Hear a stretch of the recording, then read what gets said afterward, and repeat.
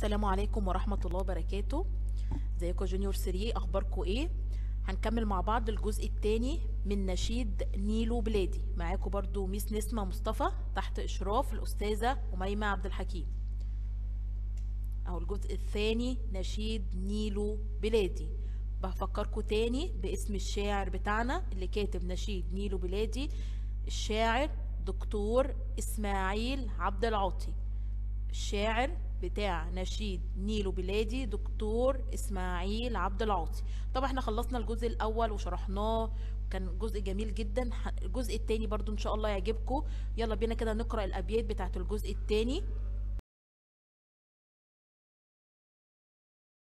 كده مع بعض نقرأ الأبيات بتاعت الجزء التاني من النشيد. يروي الزرع ما أسخاه. يروي الزرع ما أسخاه. يعطينا حبا وحياة.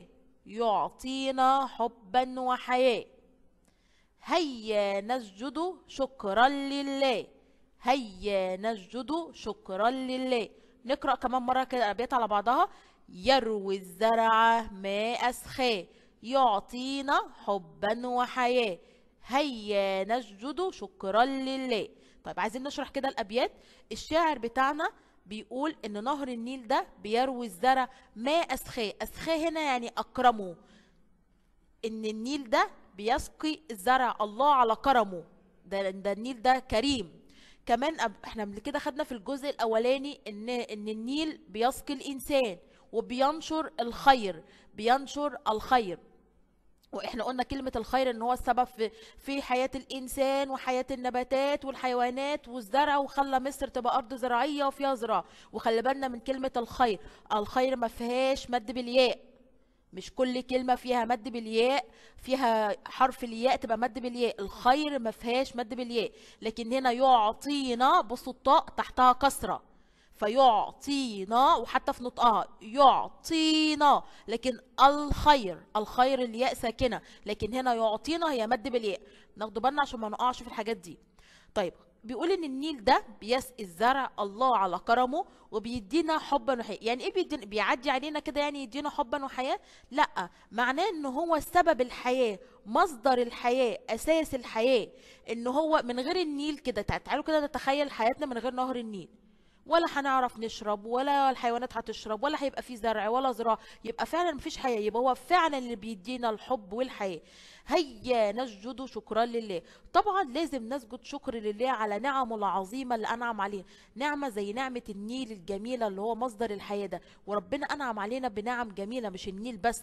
كفاية إن هو خلق الإنسان في أحسن صورة. يبقى هي هنا الشاعر بيطلب منهم في الآخر إن هم يسجدوا شكرا لله.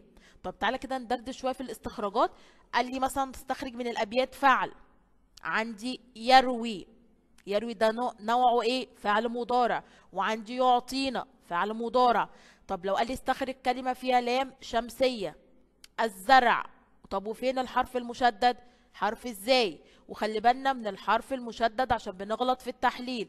دايما الكلمات اللي فيها ألف ولام شمسية الحرف اللي بعد اللام بيبقى مشدد. عشان لما نيجي نحلله الحرف المشدد ده يعني حرفين. الحرف الأول ساكن والتاني بيبقى عليه الحركة بتاعت الشدة. يعني الشدة لو عليها فتحة يبقى الحرف التاني عليه فتحة. الشدة تحتيها كسرة يبقى تحتيها ك... يبقى الحرف ده تحتيه كسرة. الشدة عليها ضمة يبقى الحرف ده عليه ضمة. وخلي بالنا من كلمة الزرع الراء ساكنة. وخلي بالنا من أسخاء أسخاء السين ساكنة برضو. وما أسخاء أسلوب تعجب. أطلعها على بعض. مع بعض أسلوب تعجب. وأسخاء آخرها هاء مربوطة. وخلي بالنا دي هاء مربوطة. يعني كت الكتب من غير نقط. غير التاء المربوطة في كلمة حياة. حياة دي تاء مربوطة. طب لو قال لي استخرج كلمة بيها تنوين. حبا. شكرا. دي كلمات فيها تنوين. نوع التنوين إيه؟ تنوين بالفتح زي ما إحنا شايفين كده قدامنا. والحرف المنون هو حرف الباء وحرف الراء وليس حرف الألف. الألف محطوط عشان هو تنوين بالفتح لكن الحرف المنون اللي أنا حبا. وبرضو في معلومة تانية عايزة أزودها لكم ان حبا وشكرا من الكلمات المنونة ومن الكلمات اللي. اللي تكتب اللي هي تنطق ولا تكتب. تنطق ولا تكتب. إن النون هنا نون كدابة. تنطق ولا تكتب. حتى بقول إيه؟ حبا شكرا. بنطق النون لكن مش بكتبها. كده الأبيات اللي قدامنا. خلصنا الشرح وطلعنا الاستخراجات. مد عندنا اسخاه مد بالألف. حياة مد بالألف. عندنا يروي مد بالياء. يعطينا مد بالياء. ما عندناش هنا مد بالواو. وعندنا كلمة واحدة فقط هي لام شمسية اللي هي كلمة الزرع. ما عندناش لام قمرية. ننتقل كده مع بعض إن شاء الله للكلمة ومرادفها أو معناها. يعطينا هو قال لنا يعطينا حبا وحياة. يعني إيه يعطينا؟ يعني يمنحنا. يعني إيه يمنحنا برضه؟ يمنحنا يعني بيدينا حاجة هدية منحة. مش مش مطلوب مننا إن إحنا ندفع مقابل. هو في حد مثلا بيروح يدفع مقابل لنهر النيل مثلا عشان بيشرب منه؟ لا هو بيدينا منحة. ربنا سبحانه وتعالى مديهن منحة هدية. يعطينا يمنحنا. يروي يسقي. يروي يسقي. أسخاه أكرمه. أسخاه أكرمه. خلي بالك أسخاه آخرها هاء ضمير لأنها راجعة على أسخاه اللي هو نهر النيل هو اللي سخي. أسخاه أكرمه. شكرا حمدا. شكرا حمدا. هيا أسرع. هو بيقول لنا هيا نسجد شكرا لله. هيا يعني أسرع. دي كده كانت المعاني اللي موجودة مرتبطة بالجزء الثاني من النشيد. للكلمة ومضادها أو عكسها. إحنا قلنا معنى يعطينا يعني يمنحنا. عكسها بقى يحرمنا أو يأخذ منا. الاتنين صح. يا إما يحرمنا أو يأخذ منا. عكس حياة موت. عكس حياة موت. وتنفع ممات عكس حياة ممات عشان كمان إحنا بناخد قطع قراءة متحررة. لو قابلتنا الكلمة دي وإحنا بنقرأ ممات هي هي موت عشان بس ما نستغربش. عكس أسخاه أبخله. عكس أسخاه أبخله. عكس حبا كرها. عكس حبا كرها. وزي ما أنتم شايفين التنوين على الحرف اللي قبل الألف وليس على الألف. شكرا جحودا أو ذما. يعني إيه يا ميس الكلام ده؟ حد بيقدم لي حاجة فبقول له شكرا ليك. عكسها بقى واحد تاني حد بيقدم له حاجة بيجحدها يعني بينكرها أو بيذم أو مش بيشكره عليها. طبعا إحنا متعودين إن إحنا ما حد يقدم لنا أي هدية أو أو أي مساعدة أو أي حاجة يبقى في شكر. ما يكونش في ذم أو جحود إن أنا أنكر الحاجة دي. عكس شكرا جحودا أو ذما. كده خلصنا الكلمة ومضادها على الجزء الثاني زي ما أنتم شايفين الكلمات سهلة ما فيهاش أي مشكلة. الله بتاع الأسئلة. إحنا كده خلصنا الكلمة ومعناها والكلمة ومضادها. هننتقل بقى إلى الجزء بتاع الأسئلة. أول سؤال عندنا لماذا يحب الناس نهر النيل؟ لماذا يحب الناس نهر نهر النيل؟ لأنه سخي وينشر الخير في دلتاه. عشان نهر النيل ده مش هو لنا نهر ما أسخاه. أسخاه دي يعني سخي. سخي يعني كريم كثير الكرم كثير العطاء وبينشر الخير في دلتاه. تاني لماذا يحب الناس نهر النيل؟ لأنه سخي وينشر الخير في دلتاه اللي هي دلتا النيل اللي إحنا قلنا فرع دمياط وفرع رشيد. طيب ماذا يعطينا النيل؟ ماذا يعطينا النيل؟ النيل بيدينا إيه؟ تعالوا كده نفتكر من الأبيات. يعطينا حبا وحياة. أهو يعطينا النيل الحب والحياة. يعطينا النيل الحب والحياة.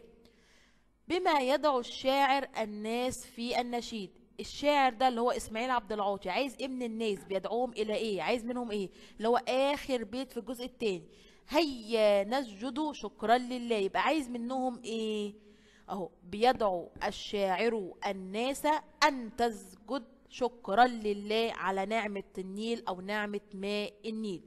بيدعوهم إن هم يسجدوا ويشكروا الله على النعمة العظيمة بتاعت النيل اللي هو سبب الخير والحياة سواء الإنسان أو الحيوان أو النبات يبقى بيدعو الشاعر الناس أن تسجد شكرا لله على نعم خلي بالنا برضو من السؤال بتاع ماذا يطلب ماذا يطلب. ماذا يطلب الشاعر في نهاية النشيد نفس هو هو سؤال ماذا يدعو الشاعر أو بما يدعو الشاعر الناس. هي هي نفس الإجابة. بيطلب منهم إيه أو بيدعوهم إلى إيه؟ هنا أن نسجد شكرا لله. يبقى لو قال لك السؤال ماذا يطلب الشاعر في نهاية النشيد أو ماذا يطلب الشاعر من الناس أو بما يدعو الشاعر الناس في النشيد أو في الأبيات أن نسجد شكرا لله. ما فضل النيل علينا. النيل ده بقى إحنا قاعدين نهر النيل ونيل بلادي وقاعدين نغني. فضله إيه علينا؟ أهميته إيه علينا؟ يسقي الناس ويروي الزرع ويجري بالخير الوفير. فضل النيل علينا إيه؟ يسقي الناس ويروي الزرع ويجري بالخير الوفير. طيب ما واجبنا نحو نهر النيل بقى؟ نهر النيل ده بقى اللي بيدينا الحاجات الجميلة وبيسقينا وبيسقي وبيروي الزرع وبينشر الخير وخلى مصر بلد زراعية وفي زراعة وفي محاصيل والكلام ده كله. واجبنا بقى إيه نحو نهر النيل ده.